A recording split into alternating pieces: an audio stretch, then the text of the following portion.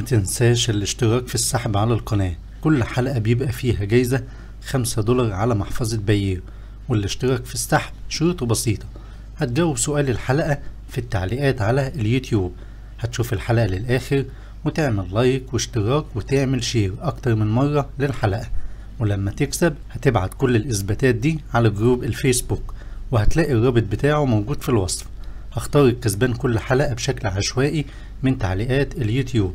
والفايز هيبعت الإثباتات على group الفيس. بالتوفيق للجميع. تقدر حالا تشتغل وتحقق ربح من الإنترنت وده مش صعب زي ما أنت فاكر لكن الموضوع أسهل كتير لأن في ناس بتفكر إن الموضوع محتاج خبرة أو مهارات وكورسات والكلام ده كله. لكن الطريقة غير كده لأنك مش تحتاج أي حاجة غير إنك تنفذ الخطوات اللي هتشوفها في الحلقة. خطوات ثابتة مش هتعمل أي حاجة معاها من عندك. هتعمل الخطوات دي وتحقق دخل من الإنترنت. وكل ده مجاني تماما مش هتصرف ولا سنت واحد ولا هتحتاج أي استثمار. وكل الأدوات اللي هتشوفها وتشتغل بيها مجانية مية في المية. طرق الربح من الإنترنت كتير لكن كل طريقة ليها خطوات محددة.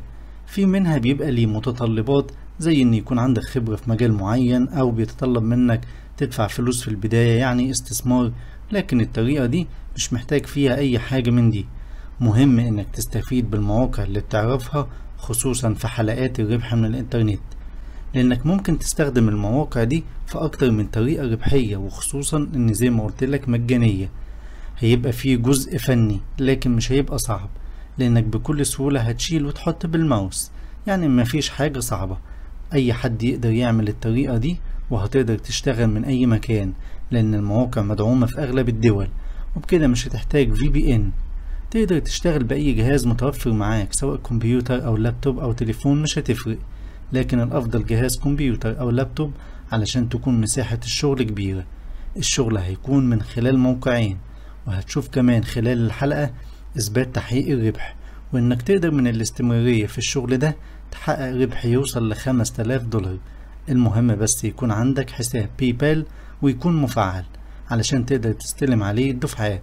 وبرضه في طرق تانية لاستلام الأرباح. أي مواقع وأدوات هشرحها في الحلقة اللينكات بتاعتها هتبقى موجودة في الحلقة نفسها ومفيش أي لينكات هتبقى موجودة في الوصف. أي موقع مش هيفتح معاك أو هتلاقي التسجيل مدفوع يبقى الموقع ده غير مدعوم في بلدك وبالتالي هتحتاج VPN علشان تقدر تسجل وتشتغل على الموقع. أهلا وسهلا بيكم على قناة إكسب أونلاين. حلقة جديدة وطريقة ربحية جديدة ونكمل بعد الفاصل.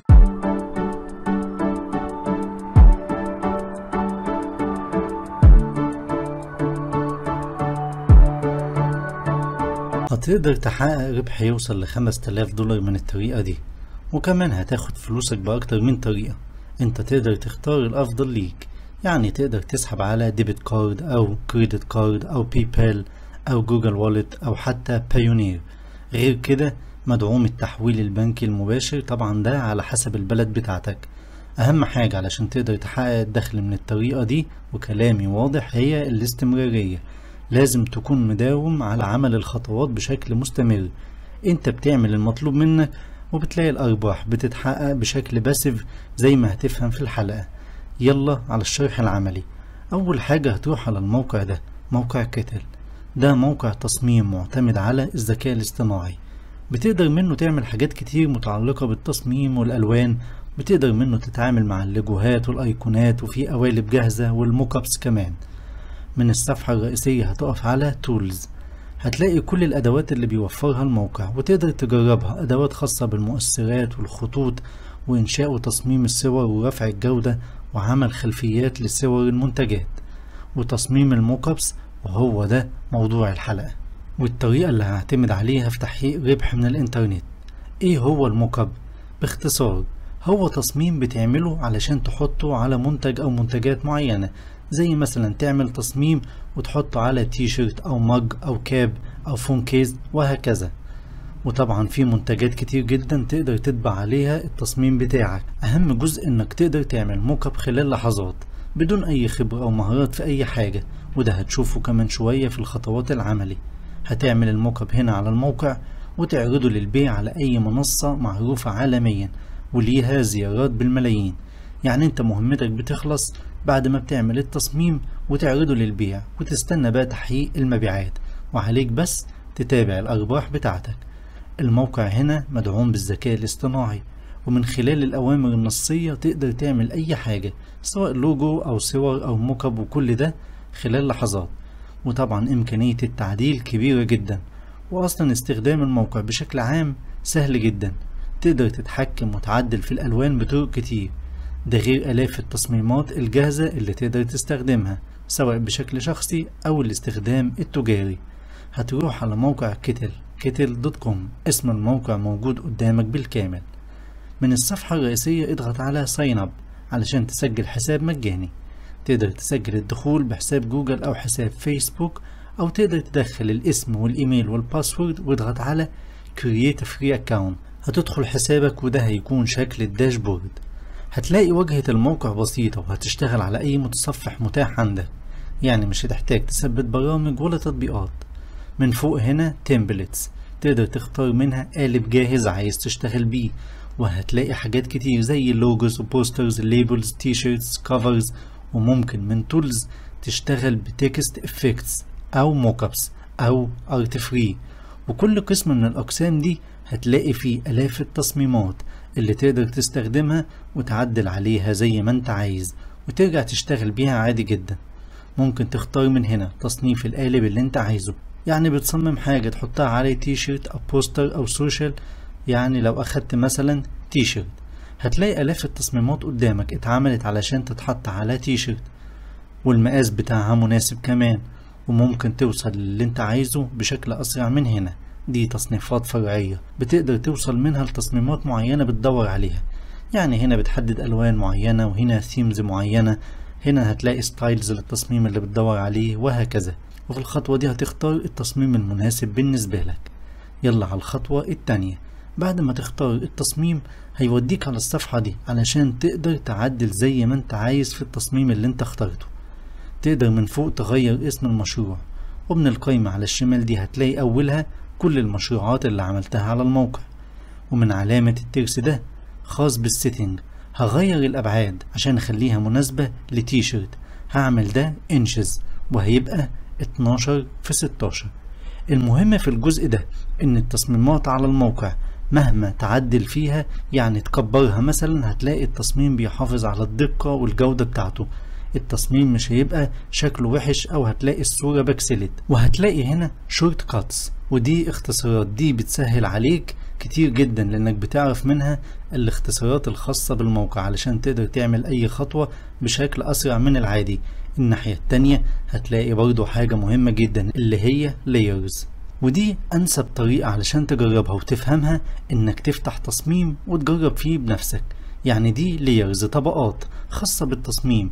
بتقدر تخفي أي طبقة وتشوف التأثير اللي حصل على ال design بتاعك. وكل ما بتعمل hide لأي layer بيتم حذفها من التصميم. بعد ما عدلت مقاس التصميم بقى الشكل مش مناسب. علشان كده هضغط Control A علشان يحدد كل محتويات التصميم. ومن هنا هعمل resize واحط التصميم في النص. واقدر اغير الالوان من هنا. واقدر اختار palette مختلفة على حسب ما انت عايز. وبكده تقدر تتحكم في كل حاجة. غير كده انت تقدر كمان تعدل في النص زي ما انت عايز. بمجرد ما تضغط على اي نص موجود في التصميم هيظهر معاك القايمة دي. وتقدر تعدل بقى في اللون زي ما انت شايف كده. لو حسيت انك بوظت التصميم الالوان الأساسية اللي هي ال color palette موجودة هنا. تقدر ترجع تختار منها تاني بدون مشكلة. يلا نشوف الكسبان الحلقة اللي فاتت. هاخد link الحلقة copy وأروح للموقع ده. أحط هنا ال link هنزل تحت هضغط get comments هضغط start. فعلا هي دي إجابة السؤال. صاحب ID القناة دي هو كسبان الحلقة اللي فاتت. هتبعت لي على الفيسبوك كل الإثباتات screenshot بتاعة المشاهدة وال like وعمل share أكتر من مرة للحلقة. من غير الإثباتات مفيش تسليم جايزة. وتقدر تغير ال border weight من هنا زي ما انت شايف كده. تقدر كمان تغير شكل ال font من هنا. جرب الخطوط واختار المناسب ليك حسب التصميم.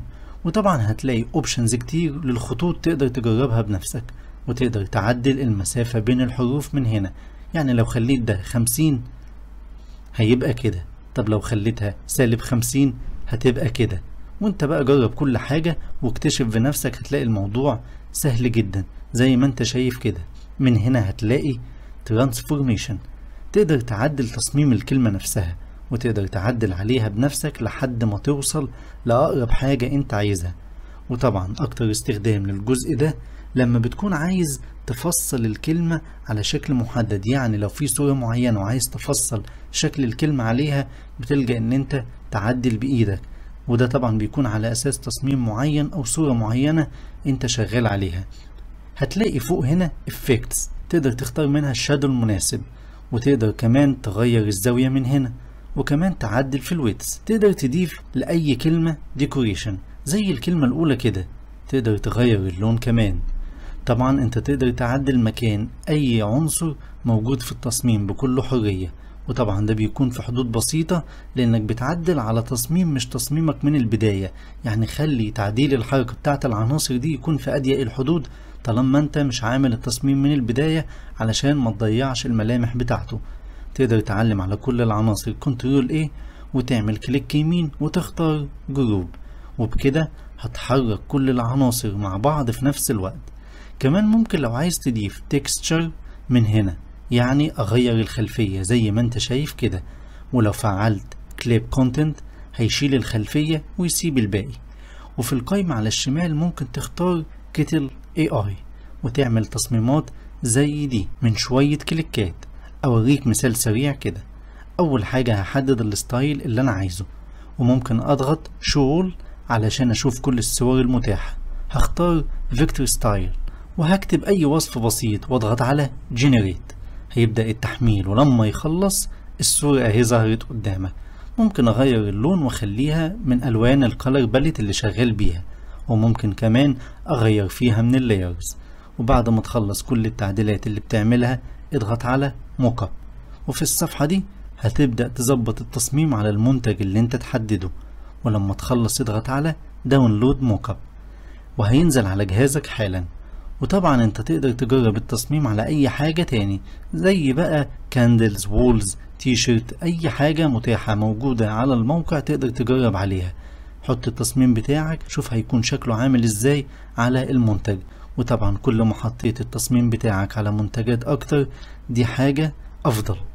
وهتبقى لصالحك لأنك بتضمن تحقيق أرباح أعلى وأسرع. لأنك بتعرض أكتر من منتج وبالتالي بتزود فرصة عرض المنتجات وكمان بتزيد المبيعات. الموقع التاني في الاستراتيجية دي اللي هتحقق منه بقى الدخل واللي هتقبض منه هو موقع اتسي اسم الموقع موجود قدامك بالكامل etsy.com ده موقع غني عن التعريف لأنه عالمي. بتقدر تبيع عليه أي منتج بالتصميم الخاص بيك. طريقة الشغل بتاعته معروفة جدا اسمها print on demand اللي هي الطباعة عند الطلب. يعني لما حد بيختار التصميم بتاعك عجبه وعايز مثلا يحطه على تي شيرت هو بيبدأ يطلب ده. يعني التي شيرت ده اتباع أكتر من 6000 مرة. سعره 25 دولار. شوف المكسب هيكون قد إيه من التصميم ده بس. المميز كمان إنك مالكش دعوة بأي حاجة. يعني لا بتتواصل مع عملاء ولا بتوصل أي حاجة ولا بتعمل أي حاجة حرفيا وبكده أنت شغلك زي ما قلت لك هيخلص في مرحلة التصميم وعرض التصميم على المنتج. وبنفس الخطوات اللي شفتها هتعمل تصاميم على قد ما تقدر وتبيع على اتسي هتاخد فلوسك بأكتر من طريقة زي ما وضحت في البداية. الطريقة مش محتاجة منك خبرة أو مهارات مش محتاج بس غير إن أنت تعمل الخطوات اللي شفتها دي قدامك. وبكده مش هتخسر أي حاجة من المحاولة. أتمنى التوفيق للجميع. دمتم بخير. وأشوفكم الحلقة الجاية.